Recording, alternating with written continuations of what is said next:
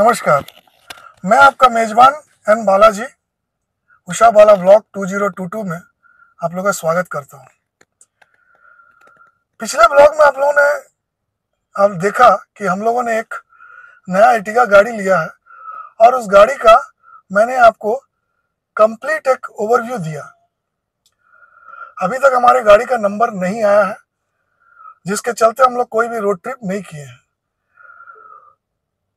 अभी हम लोग विशाखापट्टनम में ही हैं। आज शुक्रवार का दिन है। और हम लोग सोच रहे थे कि आज जो है, किसी माता का मंदिर का दर्शन करने के लिए जाएँ। क्योंकि कोई भी सनातनी जो होता है, जब भी कोई वाहन लेता है तो वो वाहन लेने के बाद किसी भी माता का टेंपल में ज़रूर जाता है और वहाँ पूजा वगैरह करता है। तो हमारा भी उद्देश्य वही है पूजा अर्चना करना जाना है। और इसी बहाने एक छोटी सी रोड ट्रिप होगी, जो विशाखापट्टनम से उस मंदिर की दूरी करीब करीब 120 किलोमीटर है। और वो तुनी के बाद, तुनी स्टेशन के बाद एन एस सिक्सटीन पर बाएँ, दाई तरफ़ करीब करीब छः किलोमीटर अंदर है। एन एस सिक्सटीन पर रोड पर ही उसका आर्च आपको मिल जाएगा। उस आर्च में अंदर जाने के बाद में आप लोगों को मंदिर आप लोग पहुँच सकते हैं। तो हम लोग किस तरह से जाएँगे और वहाँ का जो एक्टिविटीज़ क्या क्या होगा, आप लोग हमारे साथ बने रहिए और देखिएगा। और आप लोग भी माता का दर्शन हमारे साथ कीजिएगा। हम लोग तो वहाँ पर साक्षात करेंगे। आप लोग हमारे साथ डिजिटली जुड़कर माता का दर्शन कीजिएगा। उम्मीद करता हूँ कि ये ब्लॉग भी आप लोग को अन्य ब्लॉग की तरह अच्छा लगेगा। बड़ा कॉम्प्लेक्स हो तो उसमें पार्किंग काफ़ी इजी होता है और गाड़ी निकालना भी आसान होता है। लेकिन अगर एक बिल्डिंग हो तो वहाँ पर गाड़ी निकालना और रखना दोनों काफ़ी मुश्किल होता है। ये सामने का जो दृश्य है, ये किंग जॉर्ज हॉस्पिटल के सामने का दृश्य है, जो हमारे फ्लैट के सामने ही है। ये रोड हमेशा बिज़ी ही रहता है। यहाँ से निकल कर अब हम लोग करीब करीब 90 किलोमीटर आ गए हैं। अब, कुछ और दूरी चलने के बाद हम लोग मुख्य आर्च तक पहुँच जाएँगे। इस रोड को आप लोगों ने पहले भी मेरे कई ब्लॉग में देखा होगा। ये एन एस सिक्सटीन विशाखापट्टनम से चेन्नई जाने वाला रोड है, जो कि फोर लेन और काफ़ी बढ़िया रोड है। కలుపురమ్మ కలుపు ఏది అది కాదండి అదే కలుపురమ్మ ఏమన్నా ఉంది చిన్నదిగా మ్యాప్ ఎటు చూపిస్తుంది బస్ వచ్చేసింది five fifty metre left right తీసుకోవాలి రైట్ చెప్పు ఇక్కడ ఆర్చి ఉంటుంది అది కాదు అది చిన్నది దారి इस मंदिर का इतिहास करीब करीब 300 वर्ष पुराना है ये यूं कहा जाए 300 वर्ष पूर्व इसकी जानकारी मिली అది అది పోన్లే, గొడవ లేదు यहाँ से थोड़ा आगे जाने के बाद हम लोग लेफ्ट लेंगे जहाँ पर कि आज स्पष्ट रूप से दिखेगा నువ్వు ఆర్చి అదిగో ఉంటుందా? ఆర్చి. అదన్నమాట అలాగే ఇదిగో అక్కడ ఉంది తలుపులమ్మ అమ్మవారి మండపం ద్వారం అది చిన్నది ఉంది అది దాని నుండి కూడా అక్కడ ఏదో అక్కడ ఏదో రూట్ ఉంటుంది రూట్ ఉంటుంది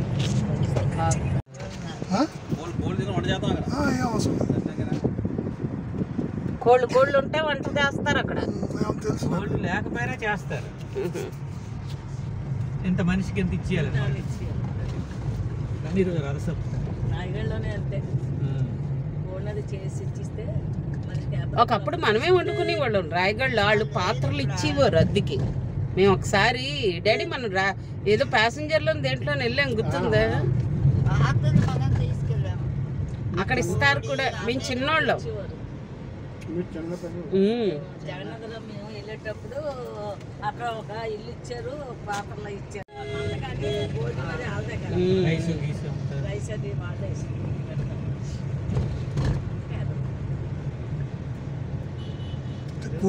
అయిపోతుంది. అంటే తదుప సామాన్లు గ్యాస్. రోడ్డు పెద్ద రోడ్డు చిన్న రోడ్డు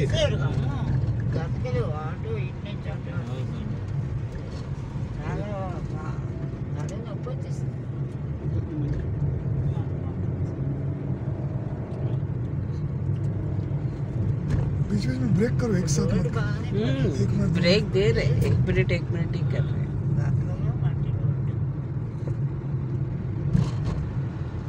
ఇదో రౌతుల పూడి ఏవో ఉన్నాయి ఇక్కడ ఇదో తలుపులమ్మ అమ్మవారి ఆలయానికి మార్గం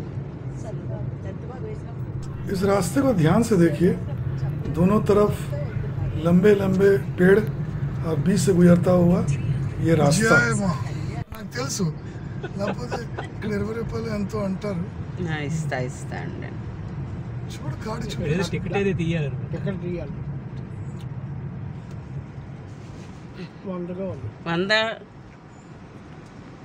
యాభై చిన్న కారు యాభై యాభై డెబ్బై यहाँ पर एक एंट्रेंस फी लिया जाता है करीब हर गाड़ी का अलग अलग चूँकि हमारा गाड़ी सेवन सीटर है इसलिए सौ रुपया लिया गया कहा जाता है कि अगस्त मुनि एक बार इस क्षेत्र में पधारे और संध्या वंदना के लिए जल की अनुपस्थिति में उन्होंने जगत माता की आराधना की।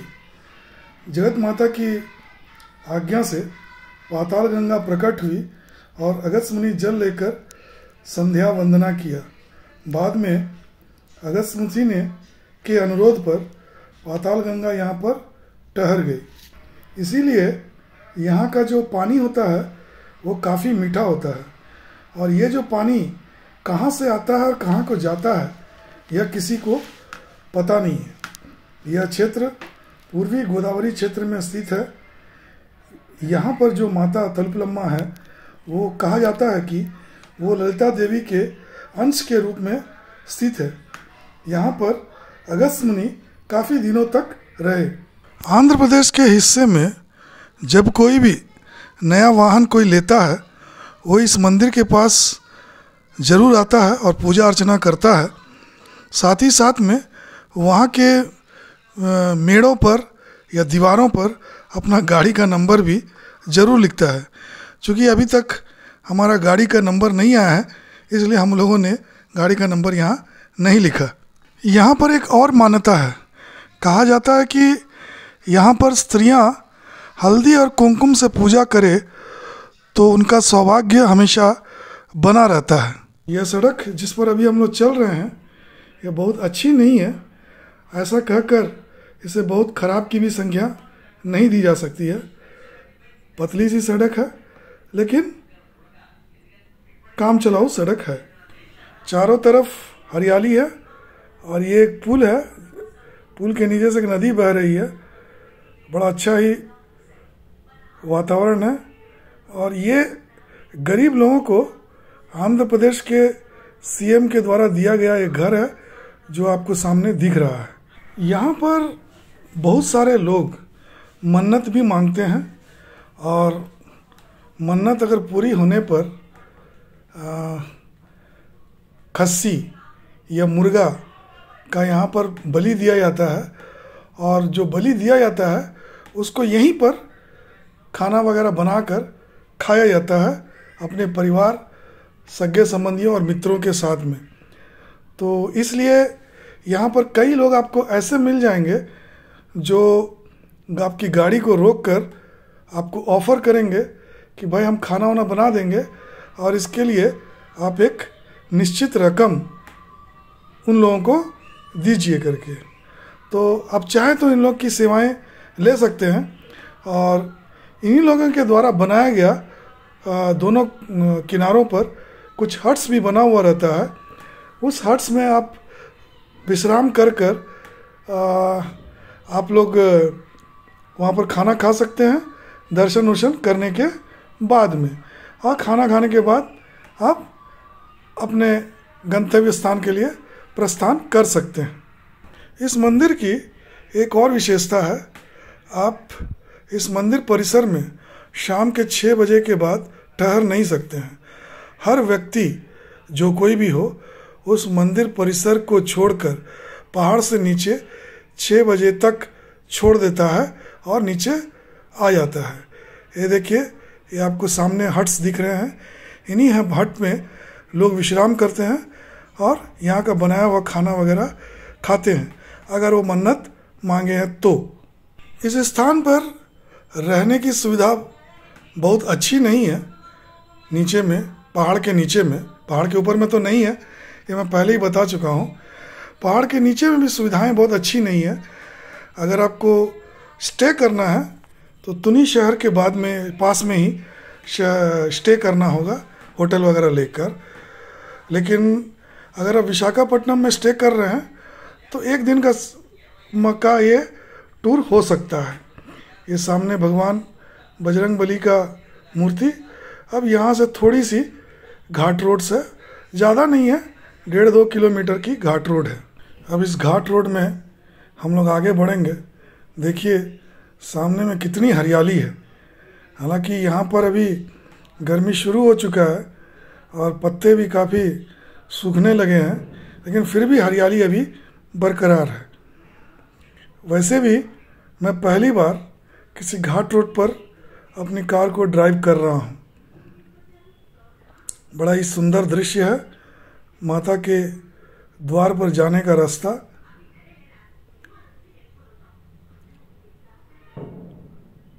हमारे सनातन धर्म की यही खासियत है कि आप भगवान का दर्शन करने के लिए जाते हुए भी आप टूरिज़्म का आनंद ले सकते हैं। अब इतना अच्छा और मनोरम दृश्य आपको और कहाँ मिलेगा? ए, अब हम लोग मंदिर के प्रांगण में पहुँचने वाले हैं। यहाँ पर पार्किंग शुल्क नहीं लगता है क्योंकि जो सौ रुपया हम लोगों ने शुरू में दे दिया था वही उसी में पार्किंग का शुल्क और उस नगर में प्रवेश करने का शुल्क दोनों होता है। तो ये है आ गया मंदिर का प्रांगण। अब हम लोग यहाँ पर गाड़ी को पार्क करेंगे और मंदिर में प्रवेश करेंगे।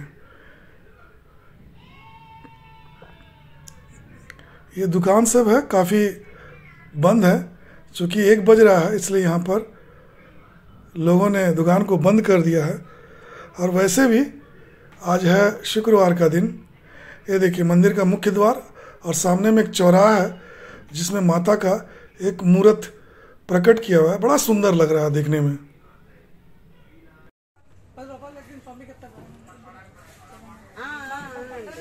ये है मंदिर में अंदर जाने का रास्ता यहाँ पर बैरिकेटेड किया हुआ है।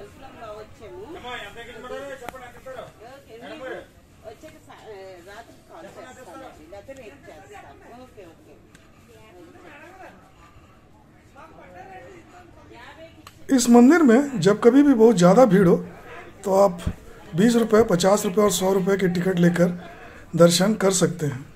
चूँकि आज काफ़ी खाली है, इसलिए हम लोगों ने फ्री दर्शन करना पसंद किया। यहाँ पर जो है वो पूजा सामग्री वगैरह मिलता है तो वही हम लोग पूजा वगैरह का सामग्री ले रहे हैं पूजा करने के लिए। लीजिए, माता का दिव्य स्वरूप का दर्शन कीजिए, जिसका कि हमने भी और आप लोगों ने भी बहुत देर से इंतज़ार किया। देखिए, माता का दिव्य स्वरूप आशीर्वाद देती हुई और ये मंदिर का प्रांगण है, जिस पर विशिष्ट पूजाओं के समय बैठने वगैरह का अरेंजमेंट है। हालाँकि हम लोग जाने के बाद कुछ और भीड़ बढ़ी लेकिन बहुत ज़्यादा भीड़ नहीं था। यहाँ के स्टाफ्स यहाँ पर चार पहाड़ हैं। उन चार पहाड़ में, दो पहाड़ के बीच में माता निवास करती है। जैसा कि हम लोगों को यहाँ के पंडित जी ने बताया, और जिन दो पहाड़ों में के बीच में माता निवास करती है, उनका बहुत महत्व है। लेकिन, उसका नाम मैं भूल गया उन दोनों पहाड़ों का। किसी को मालूम हो तो कमेंट्स करके जताएँ। अब हम लोग वहाँ से वापस हो लिए अपने घर के लिए।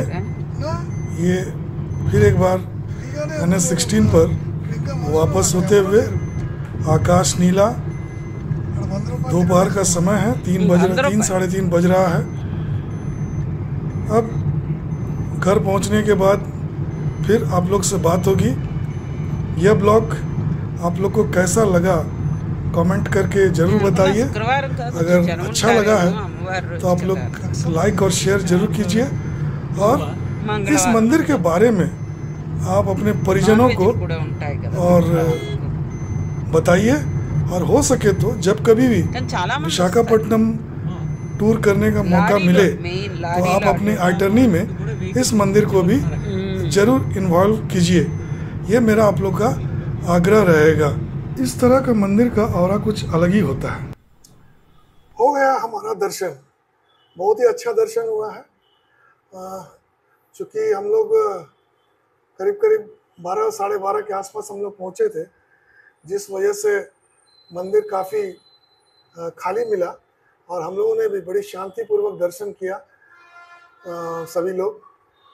और आप लोग भी इस ब्लॉग के माध्यम से ज़रूर दर्शन किए होंगे। और आप लोगों को ये ब्लॉग अच्छा भी लगा। कैसा लगा यह ब्लॉग और माता का दर्शन, आप लोग ज़रूर कमेंट्स करके बताइए। आप लोगों को यह जानकर आश्चर्य होगा कि जैसे ही हम लोग माता का दर्शन करके आए, हमारा नंबर आ गया और हम लोग कल या परसों जाकर शोरूम में नंबर प्लेट ले लेंगे। और नंबर प्लेट लेने के बाद फिर एज यूजल हमारा जो रोड ट्रिप्स है, वो चालू हो जाएगा। कहीं ना कहीं तो ज़रूर जाएँगे। अ, इसके बाद अब अंत में हमारा जो ब्लॉग का संदेश रहता है धर्म की रक्षा कीजिए देश से प्रेम कीजिए और स्वस्थ रहिए। और आप लोग अपना कीमती समय देने के लिए आप लोग का बहुत बहुत धन्यवाद।